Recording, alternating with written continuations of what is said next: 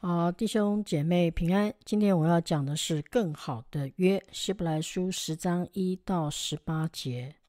好，我们一起来念哈，希伯来书十章一到十八节。律法既是将来美事的影儿，不是本物的真相，总不能借着每年长献一样的祭物，叫那进前来的人得以完全。若不然，献祭的事岂不早已止住了吗？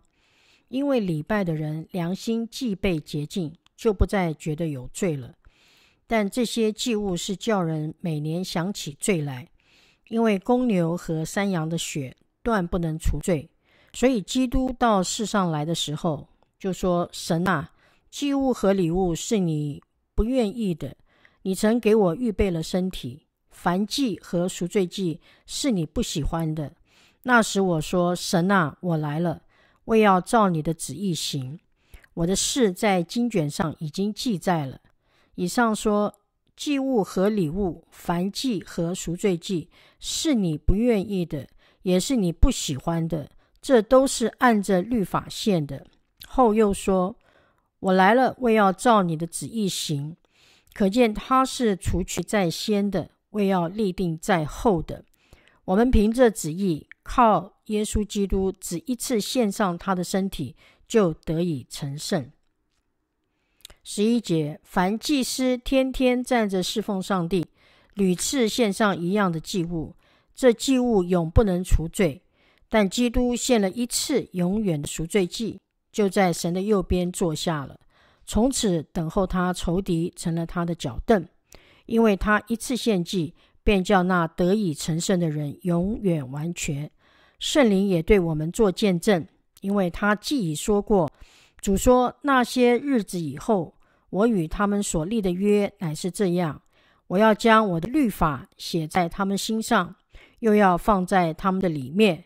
以后就说，我不再纪念他们的罪愆和他们的过犯，这些罪过既已赦免，就不再，呃，就不用再为罪献祭了。好，那我把这一段经文呢，分三个大纲。第一个是预备基督一到八节，第二个呢是线上基督九到十节，第三个基督完成十一到十八节。好，我们看一下哈，预备基督哈。那我们知道摩西律法呢，摩西在出埃及记跟立位记哈，呃，在西乃山，呃，对象是第一代的以色列人，他首度的颁发这个摩西律法。那它的特点就是客观的陈述的律法。那到了生命记呢，就是过了约旦河之后呢，在摩亚平原，那是为第二代啊的这个以色列人再度的重生。那重点呢，这个特点就是关系祸福的律法。但是呢，呃，到了新约的时候呢，圣经上希伯来书十章第一节是怎么说的呢？律法既是将来美事的影儿，那不是本物的真相。所以呢，从旧约的律法会反映到新约。呃，律法的完成哈。那第二个线上基督哈，那我们可以看到，在希伯来书十章第十节就呃讲到，我们凭着旨意，靠耶稣基督只一次献上他的身体，就得以成圣。到了新约呢，主耶稣基督为我们世人的罪呢钉上十字架，是为了要平息神的愤怒，是为了为世人呢献上赎罪祭。所以这个目的呢，就是与神和好。在这个以佛所书二章十五节，就是耶稣啊做了挽回祭啊，跟使我们与父神能够和好。那第三个呢，基督完成了哈。所以呢，我们看左呃左边的图呢，就是每一年大祭司呢都要替百姓献祭，在立位祭祭司献祭的条例。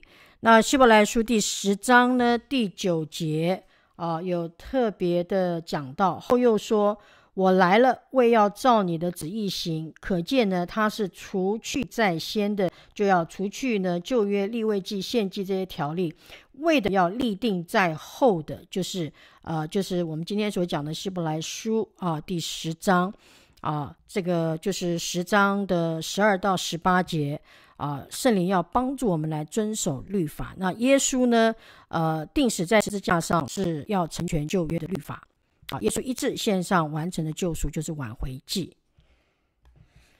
那我们从十一节到十八节呢，我们可以来做个比较哈，就是比较祭司与基督哈。那在这一段的经文当中，我们看到祭司是怎么样？是天天站着要侍奉神。那基督呢？是呃完成献祭后就坐在神的右边。那在旧约的祭司是每年都要献祭，那基督呢就是一次献上自己。那在旧约祭司呢，就说呃每一年献祭还是不能够除罪。但是基督基督呢，一次献上自己的身体，罪就得到赦免。那旧约的祭司呢，呃，除了每一年献祭呢，呃，不能够除罪，也不能够让神的子民呢得以完全。但是基督呢，他一次献上作为挽回祭，最得到赦免呢，让我们这些神的儿女呢得以完全。所以呢，神的救恩是什么呢？所以在旧约里面呢，旧约献祭是叫那近前来的人无法得以完全；但是到了新约呢，基督一次献祭呢，叫那得以成圣的人呢永远完全。所以呢，神与我们立更美的约。这个更美的约是什么呢？就是我要将我的律法写在他们的心上，又要放在他们的里面。好，总结呢，呃，希伯来书十章一到十八节。我们就可以看到，预备基督呢，就是呃，在旧约的律法、摩西五经呢，在立位记献祭的这些条例当中呢，都是让我们能够呃看到将来的美事。那到了新约的时候呢，耶稣基督做了挽回祭，啊，献上基督，然后一直到呢，他献完祭后呢，就完全了呃这个神的旨意哈，更美之约。其实，在呃，这个耶利米书三十一章三十三节也有提到，耶和华说：“那些日子以后，我与你，我与以色列家所立的约乃是这样：我要将我的律法放在他们里面，写在他们心上。我要做他们的上帝，他们要做我的子民。”那在希伯来书十章十六节也有提到，主说：“那些日子以后，我与他们所立的约乃是这样：我要将我的律法写在他们心上，又要放在他们的里面。”所以呢，典章与律例呢，其实是神呃神的话语，是生命的话语。那典章与律律呢，也是启示出神的旨意来。好，谢谢大家，谢谢弟兄姐妹。